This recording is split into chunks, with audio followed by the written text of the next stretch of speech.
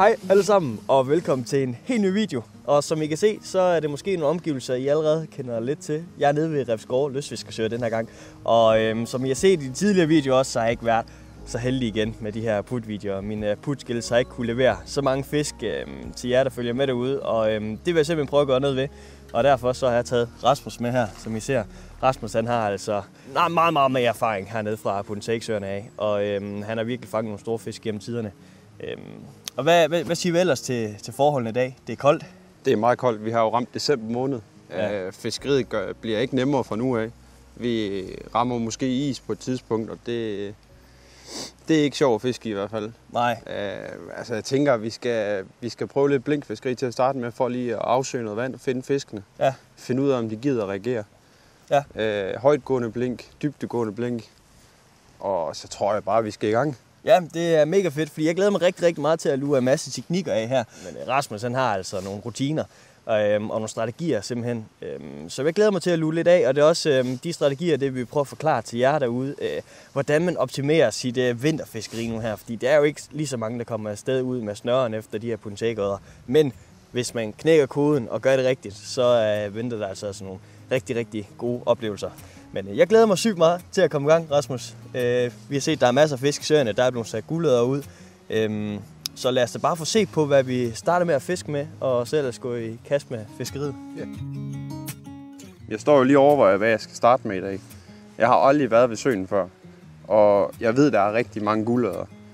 Så og hvad jeg ved, der er godt til guldæder, jamen det er altid nogle lysfarver. Grøn orange, orange glow, pink-gul, sort-orange. Så det er bare lige, hvad man skal starte med.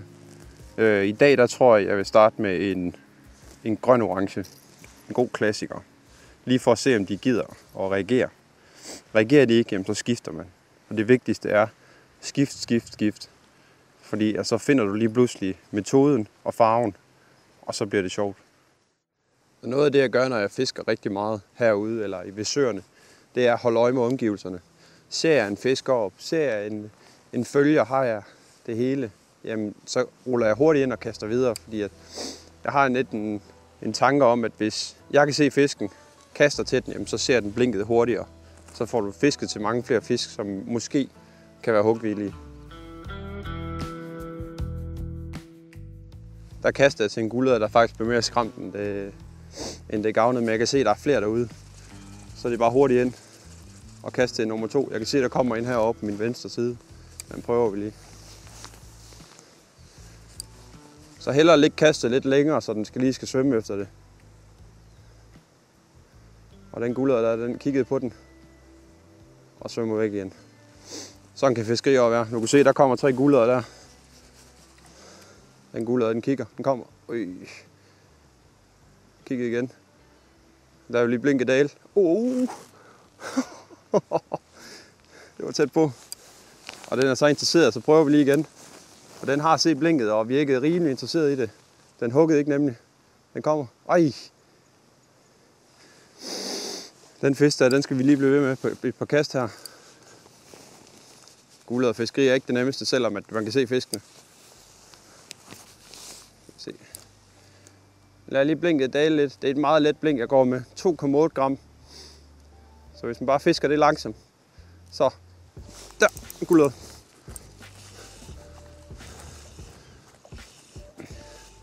Den vugtende gang, det blink, det har, det er altså noget, de ikke kan stå på.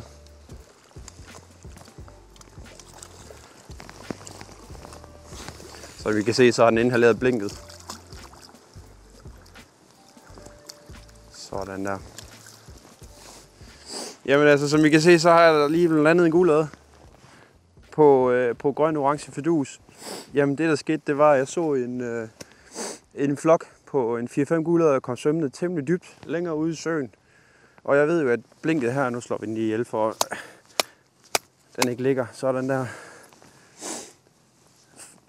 Den kom svømmende, og så lod jeg egentlig blinket dale og rulle ultra, ultra langsomt ind. Som I kan se, så, så har den nok ikke fået morgenmad. Den, øh, den var sulten. Øh, og rullede langsomt ind og mærkede et lille bitte puff. Jeg så den svømme efter. Så er de jo bare ultra flotte, dem her. Det, det kan jo ikke blive meget bedre. Den, øh, den valgte at hugge på, på fidusen her. Øh, det er et, øh, et avnvalg, jeg tit starter med, da jeg kan, kan afsøge rigtig meget vand, kan finde rigtig mange fisk. Øh, fidusen er jo et blink på 2,8 gram, der, der vugger meget langsomt ved langsom indspilling, som vil kunne jamen, udløse de fleste hug faktisk for, for både svære fisk og nyudsatte fisk, som jeg går ud fra, at den her den er. Jeg så udsætningen dengang jeg kom nemlig. Så der var rigtig mange guldere imellem. Ja, som øh, I kunne se her tidligere, så gik det altså ikke lang tid før, at Rasmus han, øh, fik overlistet en, øh, en guldlade hernede fra søen af. En guldlade, som jeg har gået og drømt længe om. Det tog ham, det ved jeg ikke, halvanden minut? Ja. ja. Halvanden minut, så havde Rasmus fisk. Øh, og det, øh, det er godt nok imponerende. Og jeg havde virkelig regnet med, at øh, her fra tidlig morgenstund, at vi skulle gå ud og nappe en efter halvandet minut, fordi at det er virkelig koldt. Altså det, det er december måned, og det blæser, og jeg tror, vi har 0 grader i luften. Så jeg regnede med, at øh, jeg skulle gå med min powerbait og, og måske udfiske Rasmus, mens han går rundt med sine små fiduser og bulldog og sådan noget. Men øh, jeg tror faktisk også lige, at jeg starter med en fidus, nu hvor Rasmus havde held med det, og så bare gå rundt og afsøge øh, søerne, som vi snakker om. Øh, det er hans øh, taktik her, når han griber ny sø an. Det er simpelthen bare at gå rundt og så bare få, få set øh, alle søerne an, og så øh, få spottet nogle fisk simpelthen. Så jeg starter med en fidus nu her, og vi har fået en mega fed start på det hele. Så det er nice.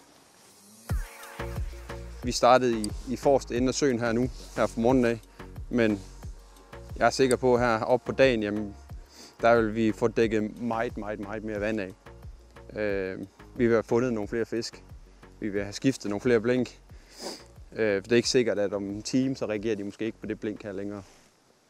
Så prøver vi avnskift. Enten om vi skal skifte til noget bulldog, eller om vi bare skal skifte farve. Det er jo, det er jo sådan set fiskene, der bestemmer det. Har en helt stil derud. Var der en? Ej, rød den af. Nej. Ja, det, de er bare... Så, sådan. Åh, oh, den er god. Er den ikke? Jamen, jeg har lige skiftet blink til en orange glow, øh, og vi, vi har set, at øderne de er begyndt at gå noget dybere. Så vi, Anders og jeg, vi stod bare kastet ud i, ud i midten af søen. Øh, jeg lod blinket dal ned mod bunden og rulle langsomt ind. Havde en, øh, jeg kunne mærke, at jeg havde en fisk til at hugge 3-4 gange. Øh, lavede spinstop, og bum, så var der fisk. Så øh, en lille fin guld have noget her. Så det prøver vi lige så, vi kan få ind her. Sådan. Så kan den få lov til at svømme videre og hygge sig.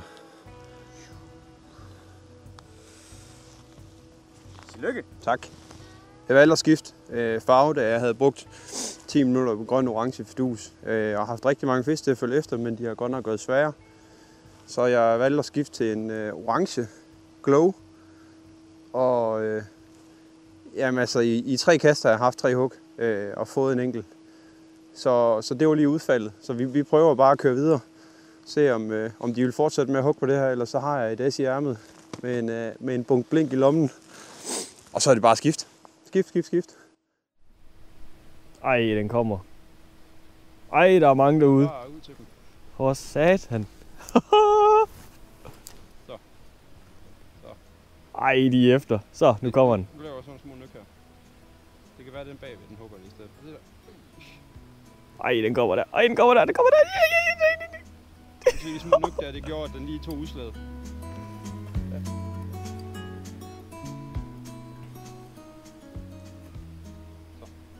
Åh, oh, den kommer der.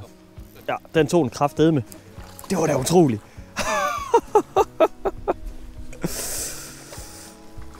Så er der bare flex på. Ej, hvor er det vildt, Rasmus. Skynd at kaste den der. Skal jeg kaste den der? Ej, det... Anders han skal jo fange en guldøde, så jeg var i gang med at, at tire dem til, at de kunne tage hans blink. Vi fisker med den samme farve. Så så jeg den, han kom, og jeg sagde til Anders, kast til den. Men det nåede han ikke, så kom den bare og, og slog til blinket med det samme. Nu prikker vi lidt den ud her. Sådan der. Det er igen de hvide finder der. Der skubber vi den retur. Han så mod til sine venner og siger, at øh, fidusen det er et godt blink. ja, Fordi Rasmus, Rasmus han nåede lige præcis at sige til mig, Anders, kast, kast, kast, der er fisk. Men øh, jeg, var ikke, jeg var simpelthen ikke hurtig nok. Så øh, han formåede lige at nappe den foran snuden på mig. Og altså, det er bare det, Rasmus kan. Han er så vanvittigt skarp til det her fiskeri. Og det er virkelig, fordi man skal ikke tro, at Puntek, det er bare lige at gå ned og nappe den. Altså, også specielt på de her kolde dage, der skal altså, der skal nogle evner til alligevel, hvis man skal have mange. Nu må vi se, om der gemmer sig en, en guldlade senere. Også øh, til mig her, men det er mega fedt. Og kæft, hvor er der godt fiskeri. Altså, det er fantastisk. Vi har fisket en 40 minutter, halv time. Så det spiller, det spiller det her.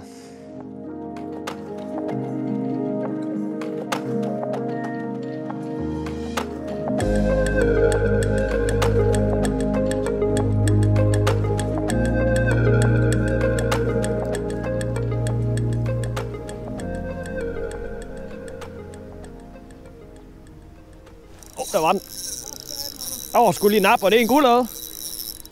Yes! Åh, oh, ja. Hvor er det fantastisk. Nej, det er guldlade. ja, det er sgu så. Ej, den er fin. Den er fin. Yes, mand. Ja, den, den, den sidder rigtig fin, den her. Ej, det er en fin basse. Ej, det er en flot basse. Ej, det er fantastisk. Åh, oh. hvad tror du, den er? Sådan 2,5 kilo eller sådan noget? Oh. På det her lette uhelgrej, så... Sådan der. Åh, oh, hvor fedt. Ej, den er flot, den her. Åh, oh. Der røg den ud. ej, der ligger den. Der ligger den. Nej, jeg også. Den var over to nu. Ja. Fedt, mand. så lykkes det. Det lykkes.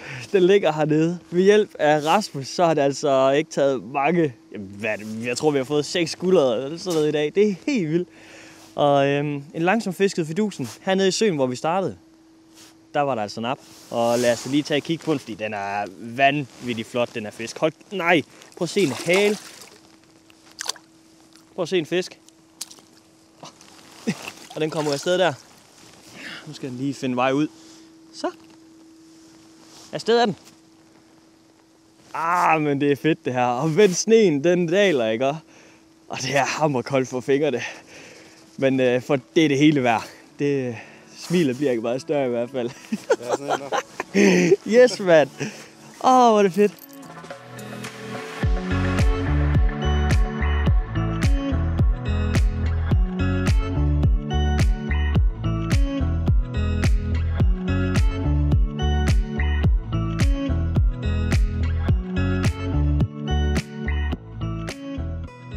Kom der lige endnu en guldlade her. Jeg har lige skiftet teknik øh, til noget glasflod. Det fortæller jeg om lige om lidt. Men øh, skal vi ikke lige se den her skønhed af en guldlade?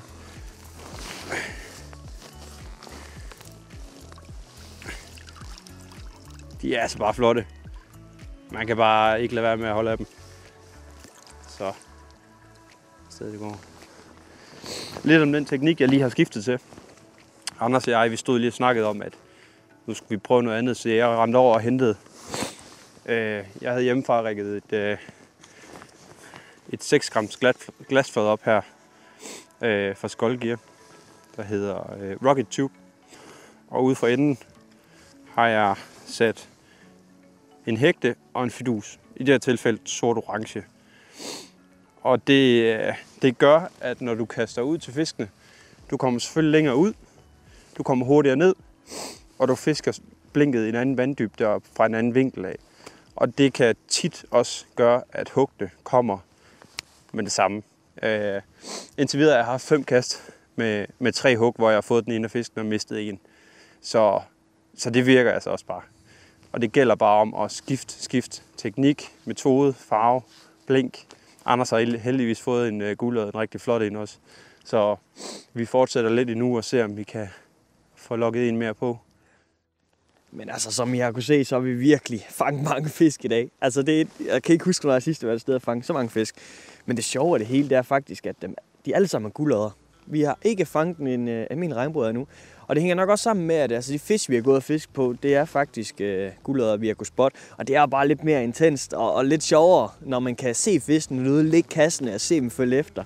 Det, det er i hvert fald noget af det, jeg synes, der er allerfedest ved at fiske i Put Take her det er, når det hele er så visuelt, og man ser alt, hvad der foregår. Og det er bare det, gulderne kan her. Og her, altså her ved Refskov, hvor vi er nu, der er virkelig mange guldere, og det er hammer, hammer grineren. Og rigtig sjov fiskeri. Men øhm, måden vi har fisket det på, det er bare at gå med de her fidusenblink, og så som sagt spotte dem og feste vældig langsomt nede foran snuden på dem. Og der ja. Ja. Ja, ja, ja. Kom så. Ja, den kommer der. Der var den. Åh, oh, den er god. Der er en, der er en kilo. Hvad sker der? Jamen, vi spottede en guldøde mere. Jeg havde lige haft den efter. Kommer en mere efter der.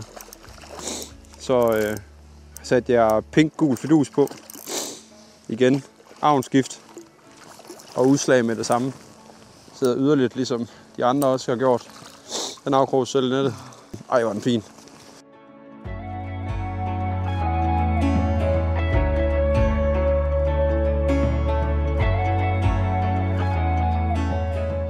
Kom lige sådan en smuk guldøje her. Det er, altså, den er jo næsten blålig. Jeg ved godt, man ikke kan sige det, men det er en blank guldøje. Det der med, at man kan få fiskene til at reagere på det, man fisker med, og gå efter det og tage det, jamen så, så har du bare, så er det hele bare, som det skal være. Jeg vil lige komme lidt ind over, hvad teknikker og blinkvalg, altså farvevalg, jeg går på, når det er vinter. Jeg har lagt fem farver på bordet, som for mig er et sikkert valg i vinterperioden, når det er koldere. Så vi starter med en, øh, en, en glow med rød røv øh, i fidus. Den, når du lyser på den, du fisker i mørket, øh, og der er rigtig mange mørke timer her, når det er vinter, jamen du kan lyse på den, så lyser den op. Øh, og det tit har en rigtig, rigtig god øh, effekt på fiskene. Så har vi øh, grøn-orange. Grøn-orange er jo bare generelt god hele året øh, så den må man ej forglemme. Så har vi øh, Orange Glow. Orange Glow har i dag for os fanget også rigtig mange fisk. Den er glow på bagsiden. Og igen, hvis du lyser på den, når du er i de mørkere tider, jamen, så lyser den op, så har den en anden farve på. Så går vi over til et blink, der er lidt tungere, for at komme lidt dybere ned i vandet. Der er Bulldoggen også et super, super effektivt blink. Det er et noget hurtigere vrikkende blink, som de ligger her.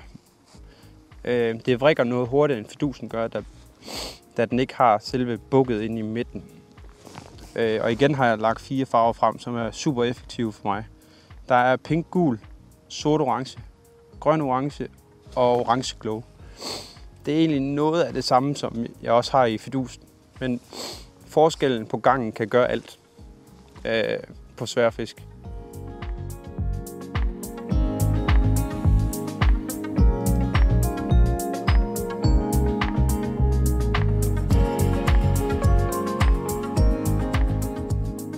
Jeg har, jeg har faktisk lige smækket en stang ud med noget powerbait, fordi at, øh, vi skulle til at, at gå lidt igennem de blink Rasmus han bruger til at punche æg, men øh, nu har jeg også en fisk her. Og er det mund? Er det regnbuen, som vi har ventet på? Er det guldøde? Men øh, den kunne ikke stå for, for powerbaiten. I nettet der. Yes. Ej, hvor er de smukke. Det er helt vildt. Prøv lige at tjekke det der ud. Nej, nogle farver. Jamen, det er helt vildt. Halen er nok øh, Ja, ja. helt rød. Jamen, den er helt rød, ja. Jeg smed en øh, stang ud med noget powerbait, og jamen, altså to, to minutter, så var der bare fisk på. Altså, vi står i 0 grader. Altså, det er virkelig blevet koldt. Og det var lige GoPro, der slukkede. men det er virkelig blevet koldt. Og, øhm, men selvom det er så koldt, så er fiskene bare i hugget. Og det synes jeg altså er ret unikt, fordi jeg har virkelig haft nogle svære ture i, her i vinterhalvåret. Men øh, med den rette teknik og det her langsomme fiskeri med de her mikroblinker og sminder og powerbait nu her, det har bare givet fisk. Så mega, mega fedt at få endnu en guldøde på CV'et.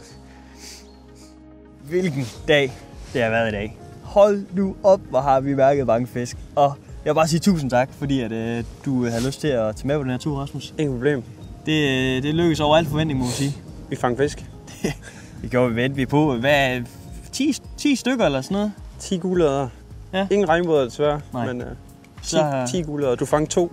Jeg fangede to guldøder i dag, og øh, det er jeg mega, mega glad for, fordi jeg aldrig fanget guldøder før. Så det er to på CV'et, Ja. og øh, det at vi ikke fanget regnbuer, det er jo bare en undskyldning for, at vi skal afsted igen.